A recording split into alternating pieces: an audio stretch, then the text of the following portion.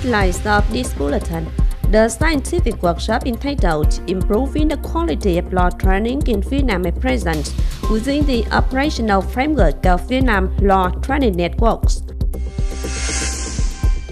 An online job transaction jointly held by the Job Service Centers of Cần Thơ City, Mekong Regional Branches Cities, Hồ Chí Minh, Đồng Nai, Bình Dương, Bà Rịa Vũng Tàu, Tây Ninh, and Đồng Tháp Vietjet Air officially exploits the flight route from Cần Thơ City to Ninh Province with the first flight slated on upcoming April 25th. Hello and it's good to see you back here in this edition of Continuous and Top News today.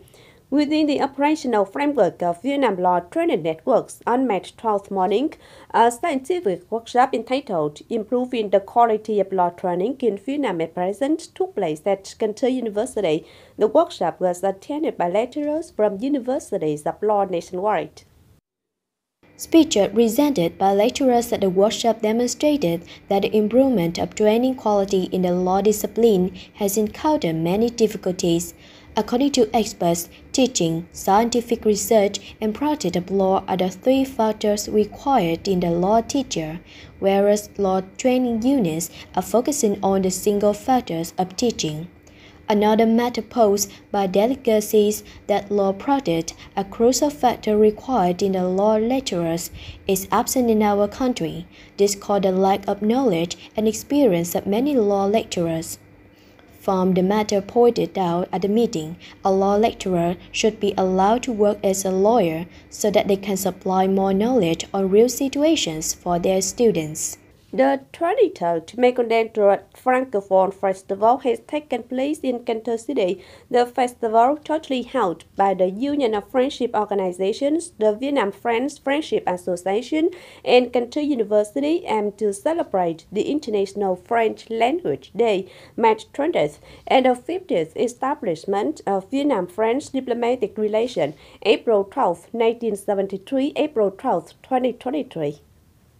Within the festival, there were the gathering, Francophone cultural and music exchange, a workshop on teaching in French, and exhibitions of local cultural heritages, with the participation of more than 700 delegates.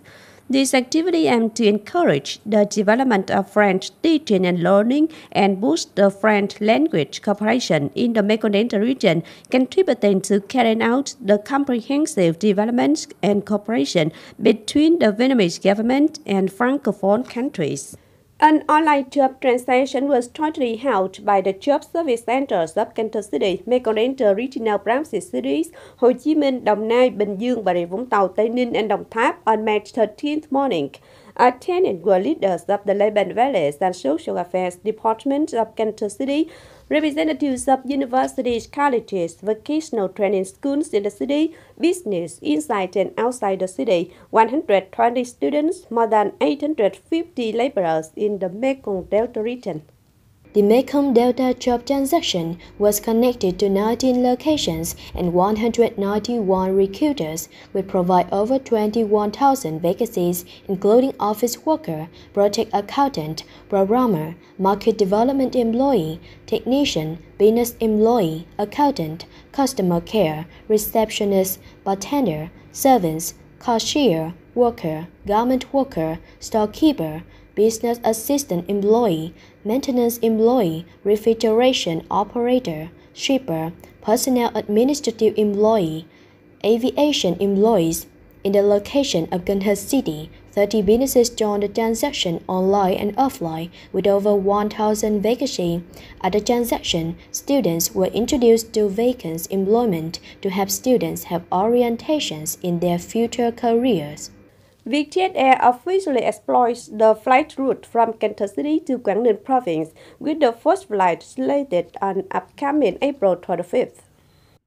Cần Thơ and Đồn International Airports have already got the 4E level standard and have the designed capacity of supplying flights for 3 million passengers a year. However, just half of their capacity has been exploited. At the recent meeting, leaders of Cần Thơ City and Ninh province have come to a consensus on many cooperative contents in which the two localities will boost the advertisement of tourism to international and domestic tourists, connect tourism products between Mekong Delta and Red River Delta. The flight between Thơ and Đồn will be a very important milestone that creates breakthroughs for the development of the two localities. Thơ City People's Committee just sent an official letter to the director of Thơ City's Sports and Tourism Department regarding the pilot organization of the Air Balloon Festival. Thơ City People's Committee agreed to the guidelines of organizing the Air Balloon Festival on the occasion of the 48th Southern Liberation National Reunification, April 30th and May Day. The City People's Committee assigned the Counter Sports and Tourism Department to work with Saigon Thắng Investment Export Trade Service Transport Company on organizing the event. It's expected the festival takes place from April 29 to May 2, 2023 at Cần Stadium and Cua Port. Being busy with his job as a communication employee at Vietnam Power Generation Corporation number 2 with passion for photography, Trần Minh Lương always set aside his time to record nice moments of nature, especially spots that have been widely well known in Cần Thơ City, turned romantic and fanciful in photos taken high from the sky by Minh Lương. With the hope for new and unique experiences, Trương Minh Lương has taken his photos by flight cam through his lens and from the high corner images that are familiar to people in Cần Thơ City like the floating market, Cần Thơ Bridge, become extremely distinguished and dreamlike. His photo collection called Landscape of Cần Thơ, the Western Capital from the Sky, is an incomplete piece on the landscape projects and typical tourist zones of Cần Thơ City shared by Minh Lương, who plans to take more photos to have a complete collection to introduce to visitors about the river hometown. Uh, According to Vietnam Association of Seafood Export and Processing of ASEP for short, while Vietnam's export to the 10 largest markets reduced by between 18 and 50 percent against the corresponding period, its export to Britain, the sixth largest market, increased by 22 percent. This is one of the few markets where there was an increase in its export of Vietnamese seafood in the first two months of this year. As of mid-February, export of tra fish to the British market stood at nearly 7 million USD, making up 4.5% of Vietnam's total export value. In the first half of February alone, there was a certain increase of 142% in tra fish export to Britain in comparison with the corresponding period. As observed alongside China, Britain is one of the optimistic destinations for Vietnamese starfish business in 2023. According to the General Statistics Office, at the current population growth speed, Vietnam is predicted to welcome the 100 millionth citizen by mid-April. As of 0 o'clock of April 1, 2022, the Vietnamese population was 99.2 million. At the average population growth speed observed in recent years, Vietnam is expected to be in the top 15 nations around the world and one of three nations in the Southeast Asian regions that have a population scale of 100 million amid a global economic competition where all countries consider the workforce as the most important tool to improve their competitiveness, the birth of 100 million citizens is a memorable milestone for Vietnam, having Vietnam become an impressive country in the eyes of international friends.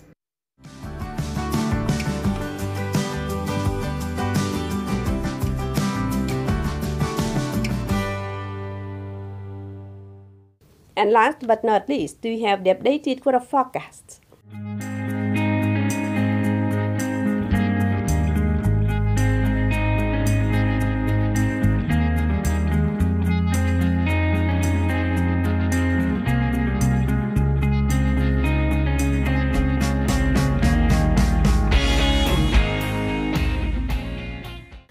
Updated weather forecast don't wrap up this edition of Cần Thơ News. If you want to watch again in this bulletin, please visit our website, canthotv.vn. And thanks for being with us. Goodbye and see you next time.